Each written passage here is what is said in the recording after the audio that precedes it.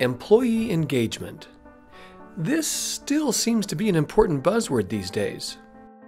But what does engagement mean? No, not that kind of engagement. Engagement may be defined as the measure of human potential. Its characteristics include effort, imagination, and energy. But what does it look like? Let's start with what it doesn't look like. Meet disengagement, or as we like to call him, Billy. Billy goes to work for his allotted eight hours a day, but not a second more.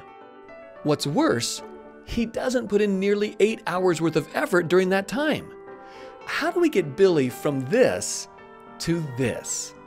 So that the company gets the productivity and reliability it needs from each employee. To help, let's bring in an expert. Is there a formula that can help us understand what drives employee engagement? Very good, Einstein, but this is a little too confusing all at once. It needs a little more explanation. Can we simplify it? Nice. Nice. Let's clarify what this means by using our global research with Towers Watson to support the rest of the equation. The research showed that engaged employees share three characteristics, regardless of country, culture, industry, or language. Number one, a sense of opportunity and well being. Number two, trust. And number three, pride in the corporate symbol. To elaborate, a sense of opportunity and well being means that employees believe their management gives them opportunities for personal growth and development and cares about their well being as individuals. If you're going to focus on one thing to increase employee engagement, here's where you start. Number two should come as no surprise it's trust. Trust is critical to success. And this is a reciprocal trust where employees believe they work for people with integrity, particularly their immediate supervisor. And they feel that people at their level are trusted and respected by management.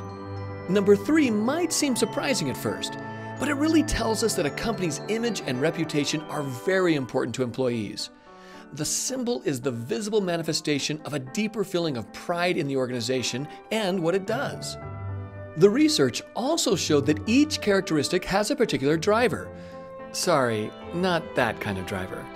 An action that is taken by their manager that ultimately accelerates the achievement of engagement. The driver of pride in the organizational symbol is alignment.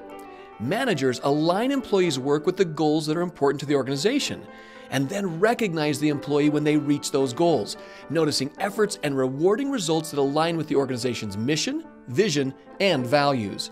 In other words, from the boardroom to the lunchroom, we walk the talk. The driver of trust is communication. Our study shows that no matter where you are in the world, the most important thing to increase trust scores by far is to enhance open, honest, two way communication between managers and employees. Okay, now here's the big one. What is the number one driver of employee engagement? The most important factor in promoting feelings of opportunity and well being is for a manager to regularly appreciate great work. Indeed, the top driver of employee engagement is appreciation. Appreciation is conveyed through frequent moments of recognition. In fact, the Towers Watson research confirmed that from country to country, engagement scores jumped two to three times when a manager offered frequent, specific, and timely recognition.